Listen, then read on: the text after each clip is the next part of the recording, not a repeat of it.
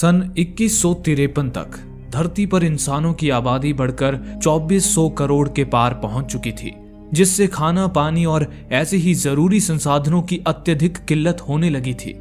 इसके समाधान के लिए वैज्ञानिकों ने पृथ्वी जैसे ही किसी और ग्रह की खोज शुरू कर दी। उनकी ये खोज उन्हें टेनिस नाम के एक जीवनदायी ग्रह तक ले आई। लेकिन सन 2174 आते आते पृथ्वी पर संसाधनों की किल्लत इतनी बढ़ गई थी कि दुनिया में ज़रूरी संसाधनों के लिए युद्ध शुरू हो गया। और जब ये युद्ध अपनी चरम सीमा तक पहुँच गया, तब वैज्ञानिकों ने इलिसियम स्पेसशिप को लॉन्च किया। इलिसियम एक विशाल का स्पेसशिप थी, जो पृथ्वी से साठ हज़ार इंसानों को लेकर टेनिस ग्रह पर बस्ती बसाने के मकसद से निकली थी। इस स्पेसशिप को टेनिस ग्रह तक पहुँचने में 123 साल लगने वाले थे। इस वजह से सारे अंतरिक्ष यात्रियों को हाइपर स्लीपिंग पॉड में सुलाकर ले जाया जा रहा था, ताकि पूरे सफ़र के दौरान उनकी उम्र ना बढ़े। इस दौरान स्पेसशिप की देखभाल के लिए स्पेसशिप में 50 से भी ज़्यादा फ़्लाइट टीम्स मौजूद थी। हर टीम में एक लेफ्टिनेंट और दो कॉर्पोरल मौजूद थे। उन फ़्लाइट टीम्स में से पहली टीम दो साल तक जागकर स्पेसशिप को संभालने वाली थी। फिर दो साल बाद पहली टीम दूसरी टीम को जगाकर खुद अपने स्लीपिंग पॉड में सो जाएगी। उसके बाद अगले दो साल तक दूसरी टीम स्पेसशिप को संभालेगी और दो साल बाद वो तीसरी टीम को जगाकर खुद स्लीपिंग पॉड में सो जाएगी। टेनिस ग्रह पर पहुँचने तक उनकी शिफ्ट ऐसे ही चलने वाली थी। इलिसियम को लॉन्च हुए सात साल बीत चुके थे। उस वक्त स्पेसशिप की देखभाल करने की ज़िम्मेदारी चौथी टीम की थी। एक दिन उनके पास पृथ्वी से एक मैसेज आया। न जाने उस मैसेज में ऐसा क्या था, जिसे सुनकर वे तीनों अंदर तक काँप उठे। ऐसे ही समय बीतता रहा। उस लंबी यात्रा के दौरान एक दिन स्लीपिंग पॉड में सो रहा एक आदमी अचानक नींद से जाग उठा। वो आदमी खुद को उस बंद पॉड में पाकर घबरा गया और चीखने चिल्लाने लगा। उसने किसी तरह खुद को स्लीपिंग पॉड से आज़ाद किया और बाहर निकल आया। उस आदमी की याददाश्त धुंधली पड़ चुकी थी। उसे अपना नाम तक याद नहीं था। हालाँकि उसे ये बात याद थी कि वो स्पेसशिप के फ़्लाइट टीम का मेंबर था और साथ ही उसे अपनी ट्रेनिंग भी याद थी। लेकिन उसे उसका मिशन याद नहीं था। इतने में ही अचानक वहाँ की बिजली गुल हो गई। लेकिन उस आदमी को वहाँ पर एक ग्लो स्टिक मिल गई। उसकी रोशनी में उसने अपने स्लीपिंग पॉड पर एक नज़र डाली। उसके पॉड पर उसका नाम कॉर्पोरल बावर लिखा था। उसी पल उसका ध्यान अपने हाथ पर बने एक टैटू पर गया, जिसमें लिखे सीरियल नंबर से उसे पता चला कि वो स्पेसशिप के पांचवे फ़्लाइट टीम का मेंबर था। उसने देखा कि कमरे में दो और स्लीपिंग पॉड्स थे। जिसमें से एक पर कॉर्पोरल कूपर नाम लिखा हुआ था, लेकिन कूपर अपने पॉड से गायब था। वहीं दूसरे पॉड में एक आदमी सो रहा था। उसके पॉड पर लेफ्टिनेंट पेटन लिखा हुआ था। उसी कमरे में बावर को कंप्यूटर डेस्क पर शिप का नाम इलिसियम लिखा हुआ दिखा। वहीं उसे उसके नाम का एक लॉकर भी मिला। उसने जब उस लॉकर को खोला तो उसमें उसके कपड़े और एक लड़की की तस्वीर रखी थी। साथ ही वहाँ ये इंस्ट्रक्शन भी लिखी थी। कि ज़्यादा समय तक हाइपर स्लीप में होने की वजह से याददाश्त चली जाती है, लेकिन धीरे धीरे याददाश्त वापस भी आ जाती है। उसे पढ़ने के बाद बावर ने झट से अपने कपड़े पहन लिए। उसके बाद उसने कमरे के एग्जिट डोर को खोलने की कोशिश की, लेकिन बिजली न होने की वजह से वो ऑटोमेटिक डोर खुल नहीं पाया। खुद को वहाँ कैद पाकर बावर काफ़ी ज़्यादा परेशान हो चुका था। उसने लेफ्टिनेंट को जगाने के लिए उसके स्लीपिंग पॉड को खोलने का स्विच घुमाया। लेकिन बिना बिजली वो भी खुल नहीं पाया। कुछ ही देर बाद स्पेसशिप की बिजली अपने आप ही लौट आई। उसी पल स्पेसशिप ऐसे हिलने लगी, मानो उसमें भूकंप आ गया हो। बिजली आते ही लेफ्टिनेंट पेटन का स्लीपिंग पॉड भी खुल गया। कुछ ही पलों में बिजली फिर से गुल हो गई। तब तक पेटन अपने स्लीपिंग पॉड से बाहर आ चुका था। बावर की तरह उसकी याददाश्त भी धुंधली पड़ चुकी थी। इस पर बावर ने उसे याद दिलाते हुए कहा, इस वक्त हम लोग इलिसियम स्पेसशिप में हैं। और हम शिप के फ़्लाइट टीम फाइव के मेंबर हैं। मुझे लगता है हमें पृथ्वी से निकले आठ साल हो चुके हैं। यानी कि अब शिप पर काम करने की बारी हमारी है। इसलिए कंप्यूटर ने हमें जगा दिया है। हालाँकि हमें जगाने की ज़िम्मेदारी टीम फोर की थी, लेकिन उनका कुछ पता नहीं है। ये सुनते ही पेटन ने भी अपने कपड़े पहन लिए। उसी पल पेटन को याद आया कि वहाँ एक दरवाजे के पीछे शिप का कंट्रोल रूम है, जहाँ से वे लोग शिप को कंट्रोल कर सकते हैं। लेकिन बदकिस्मती से कंट्रोल रूम का दरवाज़ा भी लॉक था। ये देख वे दोनों कंप्यूटर की ओर आ गए और कंप्यूटर को इमरजेंसी पावर जनरेटर की मदद से स्टार्ट कर दिया। फिर उन्होंने स्पेसशिप की बाकी फ़्लाइट टीम से संपर्क करने की कोशिश की, लेकिन उन्हें किसी का भी जवाब नहीं आया। इसी दौरान उनका ध्यान वेंटिलेशन की ओर गया। पेटन ने सुझाव दिया कि उन्हें वेंटिलेशन में जाना चाहिए। शायद वहाँ से उन्हें बाहर निकलने का कोई रास्ता मिल जाए। ये सुनकर बावर तुरंत वेंटिलेशन में घुस गया। वो वेंटिलेशन में फैले ढेर सारे ट्यूब्स के बीच सरकता हुआ आगे बढ़ने लगा। इस दौरान पेटन उसे ट्रांसमीटर के ज़रिए ज़रूरी इंस्ट्रक्शंस देता जा रहा था। इसी बीच एक बार फिर स्पेसशिप में बिजली लौट आई और स्पेसशिप फिर से थरथराने लगा। उसी पल बावर को याद आया कि स्पेसशिप के न्यूक्लियर रिएक्टर में गड़बड़ी की वजह से ही बिजली की समस्या हो रही थी और वो ये सब इसलिए जानता था क्योंकि वो स्पेसशिप का मैकेनिकल इंजीनियर भी था। बावर ने ट्रांसमीटर पर पेटन से कहा कि ये समस्या ठीक करने के लिए उन्हें रिएक्टर को रिसेट करना होगा। अब वेंटिलेशन में ट्यूब्स इतनी ज़्यादा घनी हो गई थी कि वहाँ बावर का दम घुटने लगा। लेकिन बावर किसी तरह खुद को संभालता हुआ आगे बढ़ता रहा। तभी एक जगह पर आकर वो अचानक सिर के बल नीचे एक जाली पर गिर पड़ा। उसकी गर्दन टूटने से बाल बाल बच गई। उसने जब आसपास अपनी नज़रें दौड़ाई तो देखा कि वहाँ उसके साथ एक लाश भी लटक रही थी। वो लाश उसी कूपर की थी, जो अपने स्लीपिंग पॉड से गायब था। अपने स्लीपिंग पॉड से बाहर आने के बाद कूपर ने भी बावर की तरह वेंटिलेशन से बाहर निकलने की कोशिश की थी।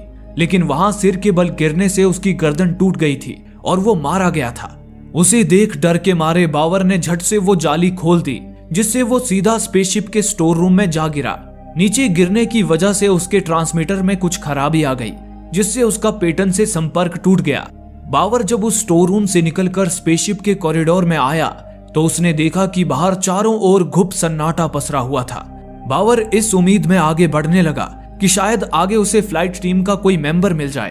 तभी अचानक उसे वहाँ एक लड़की दिखी, जो एक रॉड की मदद से किसी दरवाजे को तोड़ने की कोशिश कर रही थी। वो लड़की बावर की भनक पाते ही वहाँ से भागने लगी।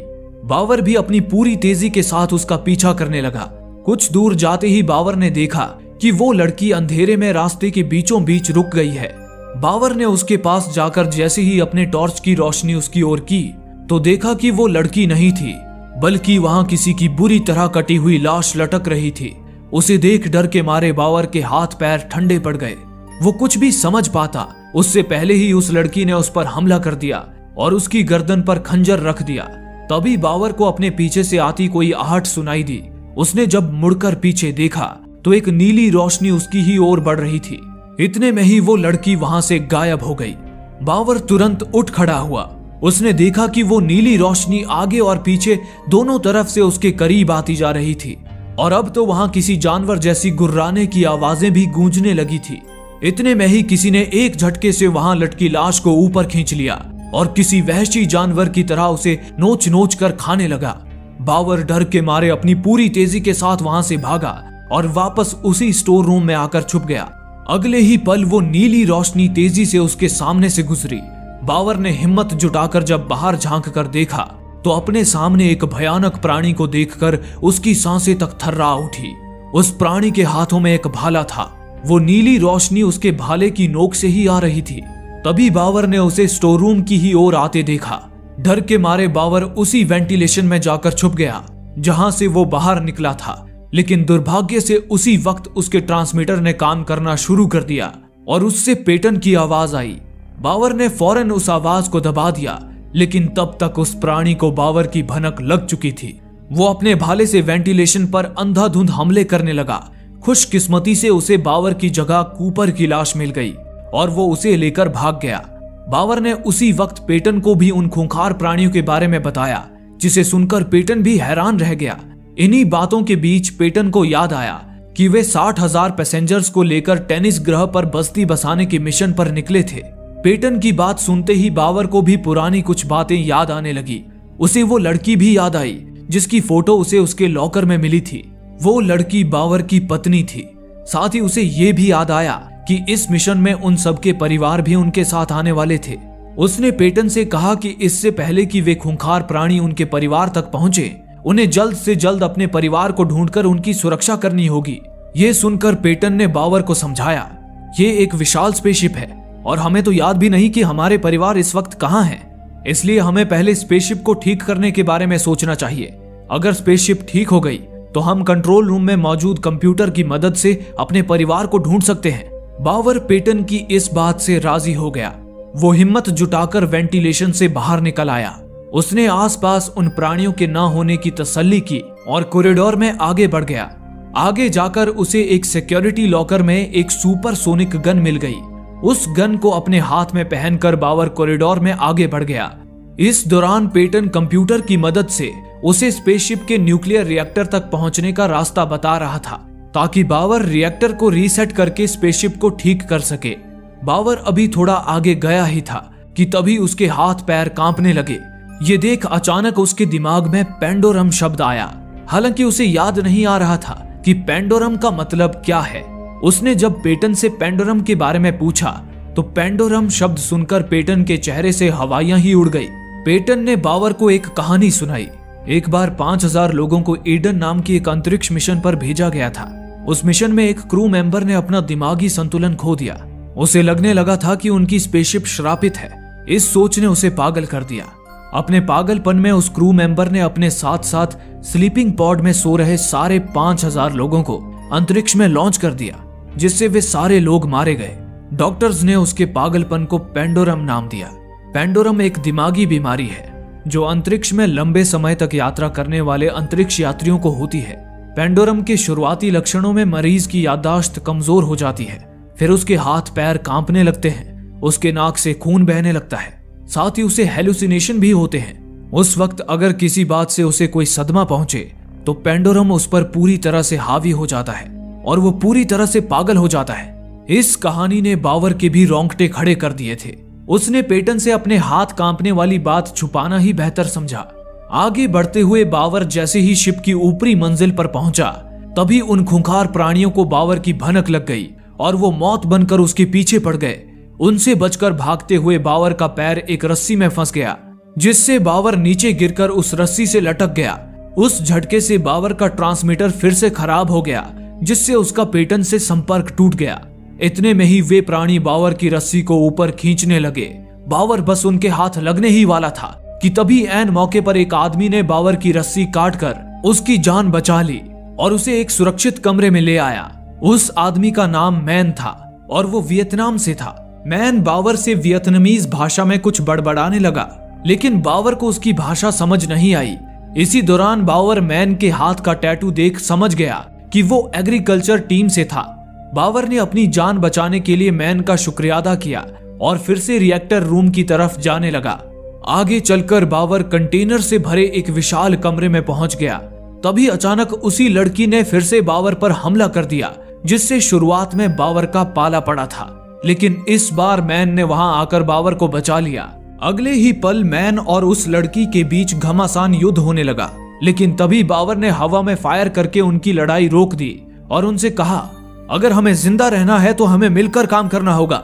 हमें जल्द से जल्द स्पेसशिप के रिएक्टर को रीसेट करके स्पेसशिप को ठीक करना होगा। इस पर वो लड़की राज़ी हो गई और बावर और मैन के साथ रिएक्टर की तलाश में निकल पड़ी। रास्ते में उस लड़की ने बताया कि उसका नाम नाडिया है और वो एक बायोलॉजिस्ट है।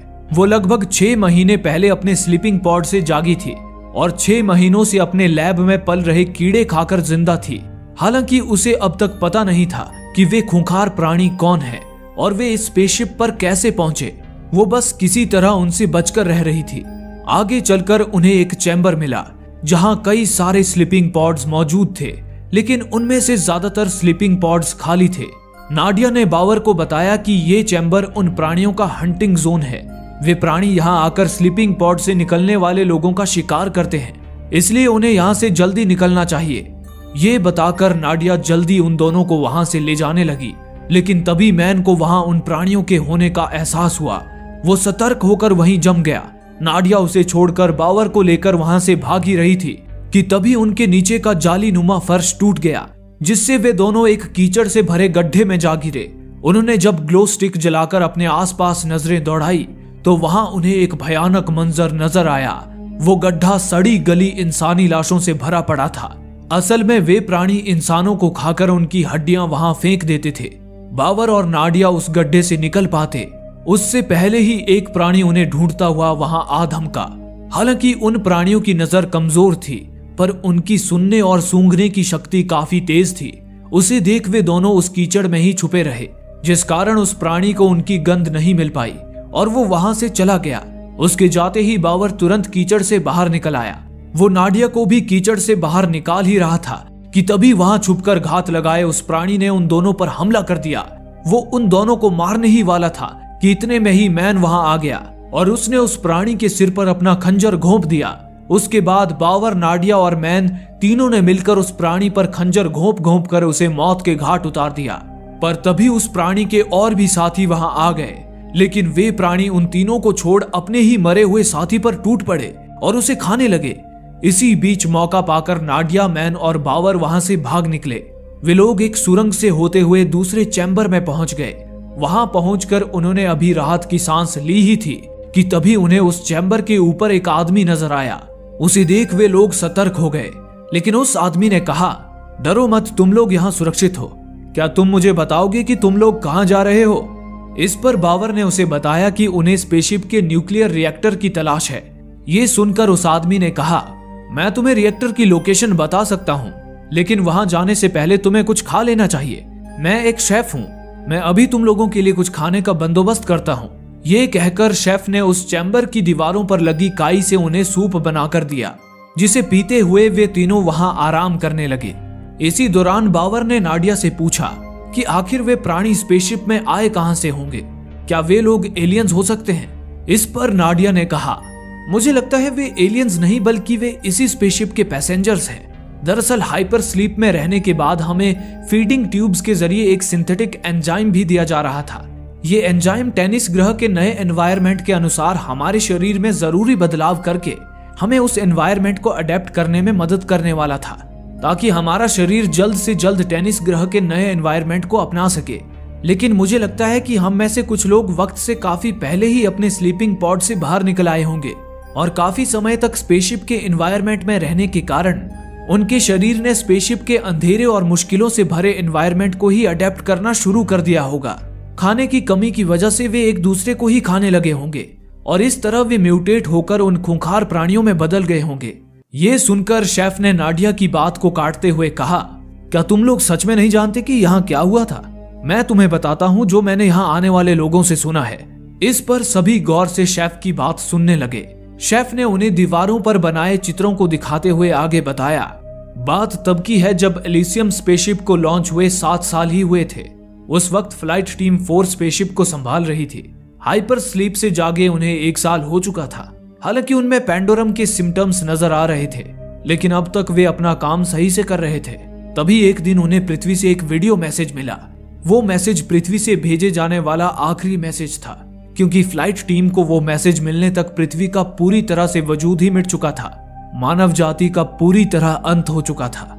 मैसेज में उनसे कहा गया कि अब सिर्फ़ अलिसियम स्पेसशिप पर ही आखिरी इंसान बचे हैं। ये खबर सुनकर गैलो नाम की एक फ़्लाइट टीम मेंबर को गहरा सदमा लगा, जिससे पेंडोरम उस पर पूरी तरह से हावी हो गया। उसके मन में ये बात घर कर गई कि पृथ्वी के नष्ट होने का कारण इंसान और उनकी इंसानियत ही है। अगर इंसान प्रकृति के नियम से चलते अगर वे जानवरों की तरह ही रहकर एक दूसरे का शिकार करते और एक दूसरे को खाकर ही अपना पेट भरते तो ना पृथ्वी पर इंसानों की आबादी बढ़ती और ना ही पृथ्वी नष्ट होती। गैलो को यकीन था कि टेनिस ग्रह पर बसने के बाद इंसान उसे भी पृथ्वी की तरह नष्ट कर देंगे। इसलिए उसने टेनिस ग्रह पर पहुँचने से पहले इंसानों की इंसानियत को खत्म करने का ठान लिया, ताकि इंसान टेनिस ग्रह पर जाकर जानवरों की तरह रहे और ज़िंदा रहने के लिए एक दूसरे का ही शिकार करे। इससे टेनिस ग्रह पर पृथ्वी की तरह आबादी नहीं बढ़ेगी। अब पृथ्वी नहीं थी तो उसे रोकने के लिए कोई नियम या कानून नहीं थे। वो हाइपर स्लीप में सो रहे साठ हज़ार लोगों के साथ जो चाहे वो कर सकता था। उसके क्रू मेंबर्स ने जब उसका विरोध किया तो उसने उन्हें मौत के घाट उतार दिया। उसके बाद गैलो ने स्लीपिंग पॉड में सो रहे लोगों को जगाना शुरू किया। स्लीपिंग पॉड से बाहर निकलकर जो लोग पेंडोरम से जूझ रहे थे गैलो ने उन्हें ये कहकर अपनी बातों से बहकाया कि अब इस दुनिया में न तो कोई भगवान है और ना कोई कानून है। इसलिए हम बिना डरे कोई भी हद पार कर सकते हैं। हम एक नई दुनिया बना सकते हैं जहाँ हम जानवरों की तरह अपनी ज़िंदगी जिएँगे। जब एक इंसान दूसरे इंसान का शिकार करेगा तो पृथ्वी की तरह यहाँ आबादी कभी नहीं बढ़ेगी। इस तरह गैलो ने उन्हें बहकाकर शिप के एक बड़े हिस्से में कैद कर दिया, ताकि वे एक दूसरे का शिकार करके एक दूसरे को खाने के लिए मजबूर हो जाएँ। इस तरह एक खूनी खेल की शुरुआत हुई। गैलो ने सालों तक वो खेल खेला, लेकिन फिर वो उस खेल से बोर हो गया और वापस जाकर अपने स्लीपिंग पॉड में सो गया। लेकिन उसने जिस खूनी खेल की शुरुआत की थी, वो उसके नींद में रहने के बाद भी चलता रहा, जिससे वे लोग नरभक्षी बन गए और उस खेल को ही अपनी ज़िंदगी मानकर एक दूसरे का शिकार करते रहे। सालों तक शिकार करते हुए आज वही नरभक्षी लोग खूंखार प्राणियों में बदल चुके हैं। शेफ की बात खत्म होते ही उस चैम्बर से एक गैस निकली जिसके असर से बावर, नाडिया और मैन बेहोश हो गए। इसी दौरान दूसरी ओर पेटन के नाक से अचानक खून बहने लगा, जिससे वो बेहोश हो गया। लेकिन कुछ ही देर बाद वेंटिलेशन से आती कोई आवाज़ सुनकर उसे होश आ गया। वो एक रॉड लेकर जब वेंटिलेशन में पहुँचा, तभी ट्यूब्स के बीच से एक निर्वस्त्र आदमी बाहर निकला। वो आदमी कोई और नहीं, बल्कि वही गेलो था, जिसने स्पेसशिप में उस खूनी खेल की शुरुआत की थी। गेलो का शरीर खून से सना था और वो पेटन से मदद की गुहार लगा रहा था। गेलो की सच्चाई से बेखबर पेटन उसे वेंटिलेशन से बाहर ले आया। उसके बाद पेटन ने गेलो से पूछा कि उसके साथ आखिर क्या हुआ था? इस पर पहले तो गेलो ने पेटन को पृथ्वी के नष्ट होने की खबर दे दी। उसके बाद उसने पेटन को झूठी कहानी सुनाते हुए कहा कि पृथ्वी के नष्ट होने की खबर सुनकर उसके दोनों क्रू मेंबर्स पर पेंडोरम हावी हो गया था, जिससे वो हिंसक हो गए थे। इसलिए उसे उनका कत्ल करना पड़ा। पृथ्वी के नष्ट होने की खबर सुनकर पेटन को भी सदमा सा लगा और पेंडोरम उस पर हावी होने लगा। लेकिन उसने किसी तरह खुद पर काबू कर लिया। दूसरी ओर बावर, नाडिया और मैन जब होश में आए तो उन्होंने देखा कि वे रस्सियों से उल्टे लटके थे। उन्हें लटकाने वाला शेफ ही था। वे तीनों समझ चुके थे कि शेफ उन्हें खाने वाला है। बावर ने उससे चिल्लाकर कहा अगर हमने एक घंटे के अंदर शिप के रिएक्टर को रिसेट नहीं किया तो स्पेसशिप पूरी तरह बंद पड़ जाएगी और हम सबके साथ तुम भी मारे जाओगे। इस पर शेफ भी सोच में पड़ गया। उसने तुरंत उन तीनों को आज़ाद कर दिया। उसने बावर की गन छीन ली और जल्दी उन तीनों को रिएक्टर की तरफ़ ले जाने लगा। आगे चलकर वे उस चैम्बर में पहुँचे, जहाँ स्पेसशिप पर काम करने वाले लोगों की फैमिलीज़ को हाइपर स्लीप में रखा गया था। लेकिन वे प्राणी उनमें से ज़्यादातर लोगों का शिकार कर चुके थे। वहीं नाडिया ने बावर से पूछा, क्या तुम्हारी पत्नी यहाँ है? तभी बावर को याद आया कि उसकी पत्नी तो स्पेसशिप पर आई ही नहीं थी, क्योंकि वो पृथ्वी छोड़कर नहीं जाना चाहती थी। इसलिए बावर को अकेले ही स्पेसशिप पर आना पड़ा। बावर को यह सोचकर सदमा सा लगा कि पृथ्वी खत्म होने के साथ ही उसकी पत्नी भी मर चुकी थी। इसी दौरान बावर को पेटन की पत्नी का स्लीपिंग पॉड दिखा, लेकिन वो स्लीपिंग पॉड खाली था। बदकिस्मती से पेटन की पत्नी भी उन प्राणियों का शिकार बन चुकी थी। उसे याद करते हुए अचानक बावर को पेटन से जुड़ी कुछ ऐसी बात याद आ गई, जिससे उसके होश ही उड़ गए। वो बाकी लोगों के साथ जल्दी रिएक्टर रूम में पहुँच गया, लेकिन बदकिस्मती से रिएक्टर तक पहुँचने वाले पुल के नीचे वे सारे खूंखार प्राणी सोए हुए थे। बावर हिम्मत जुटाकर दबे पाँव पुल पार करने लगा, लेकिन तभी वो पुल टूट गया। ये देख मैन ने तुरंत उस पुल को पकड़ लिया लेकिन बावर पुल पर संभल नहीं पाया और नीचे गिरकर एक लोहे की बीम पर लटक गया। इतने में ही नाडिया तुरंत वहाँ से रिएक्टर की ओर चली गई। हालाँकि उस रिएक्टर को रीसेट करना सिर्फ़ बावर को ही आता था और बावर केवल उन प्राणियों के बीच से होकर ही रिएक्टर तक पहुँच सकता था। इसलिए बावर नीचे उतरकर दबे पाँव उन प्राणियों के बीच आ गया और वहाँ पड़ी उनकी खाल से खुद को ढक लिया ताकि उन प्राणियों को उसकी गंध न मिल पाए। बावर उनके ऊपर से रेंगता हुआ किनारे तक पहुँचा ही था, कि तभी उधर शेफ का टॉर्च उसके हाथ से छूटकर उन प्राणियों के बीच गिर गया, जिससे वे सारे प्राणी जाग गए। लेकिन तब तक बावर रिएक्टर तक पहुँच चुका था। वहीं मैन ने पुल को नीचे गिराकर उन प्राणियों का ध्यान अपनी ओर खींच लिया और वहाँ से भागने लगा। इसी बीच बावर और नाडिया को रिएक्टर ठीक करने का समय मिल गया। बावर ने जैसे ही रिएक्टर को रीसेट किया, उस रिएक्टर से एक तेज ऊर्जा निकली। जिसने रिएक्टर के नीचे मौजूद प्राणियों को जलाकर राख कर दिया। रिएक्टर ठीक हो जाने से पूरे स्पेसशिप की बिजली वापस आ गई, लेकिन अब भी वहाँ बहुत से प्राणी बचे हुए थे, जो बावर और नाडिया का पीछा करने लगे। वही मैन का भी एक प्राणी से सामना हो गया। उन दोनों में घमासान युद्ध छिड़ गया, लेकिन अंत में मैन ने उसे मार गिराया। तभी मैन के सामने उन प्राणियों की एक बच्ची आ गई। मैन उसे मासूम बच्ची समझकर वहाँ से जाने ही वाला था। कि तभी उस बच्ची ने अपने भाले से मैन की गर्दन ही काट दी। दूसरी ओर शेफ तेज़ी से अपनी जान बचाकर भाग रहा था। बावर और नाडिया भी उसके पीछे ही थे, लेकिन शेफ ने उन्हें रास्ते के बीच में ही कैद कर दिया और खुद वहाँ से भाग निकला। इसी दौरान दूसरी ओर गैलो के नाक से भी खून बहने लगा था, जिससे पेटन समझ गया कि गैलो भी पेंडोरम से जूझ रहा है। इसलिए उसने गैलो को बेहोश करने के लिए एक इंजेक्शन निकाल लिया, लेकिन तभी गैलो ने उसे देख लिया। और उन दोनों में हाथापाई होने लगी। आश्चर्य की बात थी कि उन दोनों के हाथ पर बने टैटू के सीरियल नंबर एक ही थे। अगले ही पल गैलो ने पेटन को ही वो इंजेक्शन लगा दिया। वो इंजेक्शन लगाते ही अचानक गेलो वहाँ से गायब हो गया। इतने में ही शेफ वहाँ पहुँच गया। शेफ पेटन को अपने बारे में बताने लगा। लेकिन तभी पेटन ने बड़ी ही बेरहमी से उसकी आँख में इंजेक्शन घोंप कर उसे मौत की नींद सुला दिया। दूसरी ओर वे प्राणी बावर और नाडिया तक पहुँचने ही वाले थे, कि तभी उन्होंने किसी तरह रास्ते का दरवाज़ा खोल लिया और वहाँ से भागकर पेटन वाले कमरे तक पहुँच गए। कमरे के अंदर आते ही उन्होंने देखा कि स्पेसशिप के कंट्रोल रूम का दरवाज़ा खुल चुका था। ये देख बावर और नाडिया भी कंट्रोल रूम में आ गए, लेकिन पेटन उन्हें कहीं नज़र नहीं आया। वही बावर कंप्यूटर में ये डेटा कैलकुलेट करने लगा कि उन्हें पृथ्वी से निकले कितने साल हुए हैं। डेटा प्रोसेस हो ही रहा था कि तभी पेटन उन्हें एक कुर्सी पर बैठा नज़र आया। हालाँकि रिएक्टर को ढूंढते वक्त जब बावर ने पेटन की पत्नी का स्लीपिंग पॉड देखा था तो उसी वक्त उसे पेटन और उसका परिवार याद आ गया था। उसे पता चल चुका था कि अब तक वो जिसे पेटन समझ रहा था, असल में वो कोई और ही था। उसने उस बहरूपिये से पूछा, कौन हो तुम? इस पर उस बहरूपिये ने बताया कि वो और कोई नहीं, बल्कि कॉर्पोरल गेलो ही है। वही गेलो जिसने स्पेसशिप पर खूनी खेल की शुरुआत की थी। उस वक्त गेलो जवान था। वो सालों तक खूनी खेल खेलता रहा। वक्त के साथ उसकी उम्र बढ़ गई। लेकिन फिर वो उस खेल से बोर हो गया।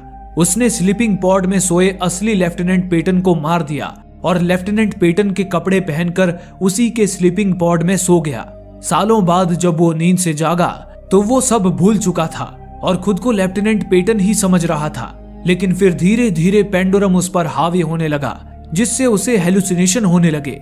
उसके हेलुसिनेशन ने उसके बुरे विचारों को उसे जवान गेलो के रूप में दिखाया। धीरे धीरे उसके बुरे विचार उस पर हावी होने लगे। हालाँकि वो खुद को पेटन ही समझ रहा था, इसीलिए वो अपने बुरे विचारों से, यानी कि जवान गेलो से लड़ रहा था। लेकिन अंत में उसके बुरे विचार उस पर हावी हो गए। इसी के साथ उसे याद आ गया कि वो पेटन नहीं, बल्कि खुद गेलो ही है। जो अब बूढ़ा हो चुका है। ये बात याद आते ही उसे अपने पुराने सारे बुरे काम भी याद आ गए। उसने सोने से पहले जिस मकसद को अधूरा छोड़ा था, उसे वो फिर से पूरा करने में लग गया।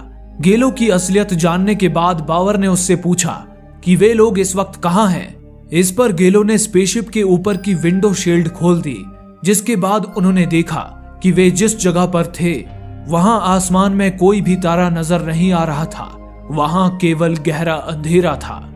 उसे देख बावर को समझ आया कि वे लोग स्पेस में खो चुके हैं, जिससे बावर की घबराहट बढ़ गई और पेंडोरम उस पर भी हावी होने लगा। ये देख गैलो ने बावर को भी उसी तरह अपनी बातों से बहकाना शुरू कर दिया, जैसे उसने शुरुआत में पेंडोरम से जूझ रहे लोगों को बहकाकर उन्हें खूंखार बना दिया था। लेकिन बावर गैलो की बातों में नहीं आया। उसने गैलो को पीट पीट कर उसका मुँह बंद कर दिया। इसी दौरान बावर और नाडिया ने देखा कि उनके स्पेसशिप के ऊपर कुछ अजीब से जीव पानी में तैर रहे थे। उसे देख वे समझ गए कि उनकी स्पेसशिप स्पेस में नहीं, बल्कि पानी के नीचे है। तभी उनके कंप्यूटर ने कैलकुलेशन पूरी कर ली, जिसके मुताबिक उन्हें पृथ्वी से निकले 923 साल बीत चुके थे। इससे वे समझ गए कि उनकी स्पेसशिप अपने तय समय 123 साल में ही टेनिस ग्रह पर आकर समंदर में लैंड हो चुकी थी। जिसका मतलब था कि वे 800 सालों से टेनिस ग्रह पर ही थे। दरअसल स्पेसशिप पर मौजूद वे प्राणी स्पेसशिप के पैसेंजर्स नहीं थे, बल्कि उनके वंशज थे। शुरुआत में वे पैसेंजर्स पेंडोरम की वजह से पागल होकर गैलो द्वारा सिखाया शिकार का खेल खेलने लगे थे। उन्हें वो खेल सिखाकर गैलो तो दोबारा हाइपर स्लीप में चला गया था, लेकिन नरभक्षी बन चुके उन पैसेंजर्स ने उस खेल को जारी रखा। उन्हें फीडिंग ट्यूब के ज़रिए दिए गए एंजाइम की वजह से उनका एवोल्यूशन यानी कि विकास तेज़ी से होने लगा। पीढ़ी दर पीढ़ी जैसे जैसे उनका वंश आगे बढ़ा, वे स्पेसशिप के अंधेरे माहौल में ढलते चले गए। अंधेरे की वजह से उनकी आँखों की रोशनी कम हो गई और उनकी सुनने और सूंघने की शक्ति तेज हो गई। साथ ही शिकार करते रहने की वजह से उनकी शारीरिक क्षमताएँ भी विकसित हो गई। आगे चलकर उन्होंने एक दूसरे के अलावा स्लीपिंग पॉड में मौजूद लोगों को भी खाना शुरू कर दिया। इस तरह आज 923 साल बाद भी उन पैसेंजर्स के वंशज, यानी कि वे खुंखार प्राणी, लोगों का शिकार कर रहे हैं। ये सारी सच्चाई जानकर पेंडोरम से जूझ रहे बावर का दिमाग घूमने लगा। उसे हेलुसिनेशन होने लगे, जिससे उसे वे प्राणी अपने आसपास नज़र आने लगे। इसी दौरान मौका पाकर गैलो ने बावर पर हमला कर दिया। ये देख नाडिया ने उसे बचा लिया और खुद गैलो के साथ भिड़ गई। लेकिन गैलो ने नाडिया को मारकर दूर गिरा दिया। और एक चाकू लेकर उसे मारने आगे बढ़ने लगा। इसी बीच बावर को भ्रम हुआ कि एक प्राणी कंपार्टमेंट से बाहर निकल रहा है। बावर ने अपनी गन से उसे शूट कर दिया, जिससे उस कंपार्टमेंट का लोहे का ढक्कन उछलकर स्पेसशिप के कांच पर जा लगा, जिससे वो कांच टूट गया और स्पेसशिप में पानी भरने लगा। ये देख बावर नाडिया को लेकर तुरंत वहाँ से भागा और अपने स्लीपिंग पॉड में घुस गया, लेकिन वहीं गैलो अपने स्लीपिंग पॉड तक पहुँचने से पहले ही पानी में डूब गया। और उसके साथ ही स्पेसशिप पर बचे हुए सारे प्राणी भी पानी में डूबकर मारे गए। बावर ने उसी वक्त अपने स्लीपिंग पॉड को इजेक्ट कर दिया, जिससे वो पॉड लॉन्च होकर पानी से सतह पर आ गया। पॉड से बाहर निकलकर उन्होंने अपने आसपास नज़रें दौड़ाई। वे लोग अपने नए घर यानी कि टेनिस ग्रह को देख रहे थे। इसी के साथ स्पेसशिप में पानी भरने से उसमें इमरजेंसी लॉन्च सिस्टम एक्टिवेट हो गया। जिससे स्पेसशिप के स्लीपिंग पॉड में ज़िंदा बचे 1211 लोग भी सतह पर आ गए। उन्हें देख बावर और नाडिया के अंदर खुशी की लहर दौड़ उठी। वे बाकी बचे लोगों के साथ मिलकर टेनिस ग्रह पर मानव जाति की एक नई शुरुआत करने निकल पड़े। दोस्तों, अगर आपको ये वीडियो पसंद आई हो तो वीडियो को लाइक और चैनल को सब्सक्राइब ज़रूर करें। धन्यवाद।